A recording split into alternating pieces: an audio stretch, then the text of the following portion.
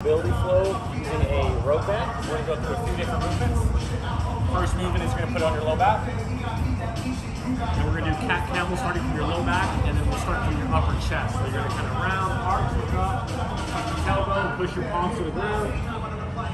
Get nice and round.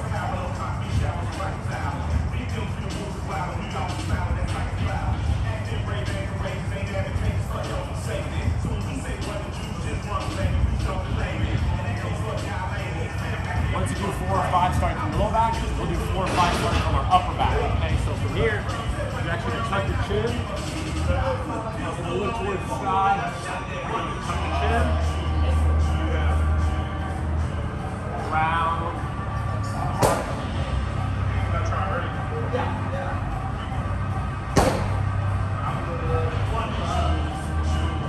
So as you can see, I started from my top half and lower, as opposed to starting from my lower half and raising up. Okay, so that's our cat and back with moving from our low back and upper back. Now we'll go around the shoulders.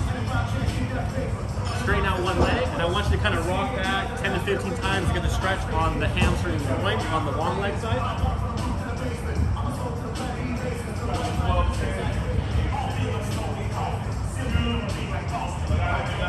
Once you do 10 to 15 of those, you're gonna go up underneath and rotate.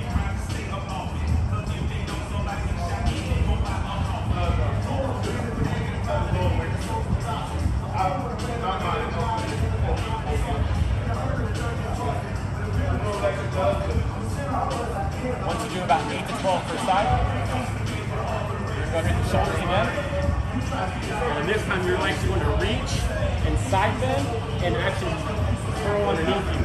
So I'm reaching nice and long, getting back underneath you.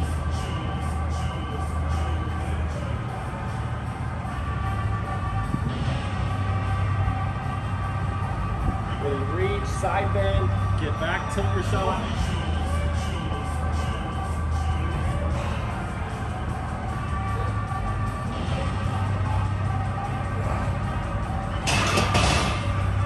So the goal is to get that really long stretch on that side bending uh, position.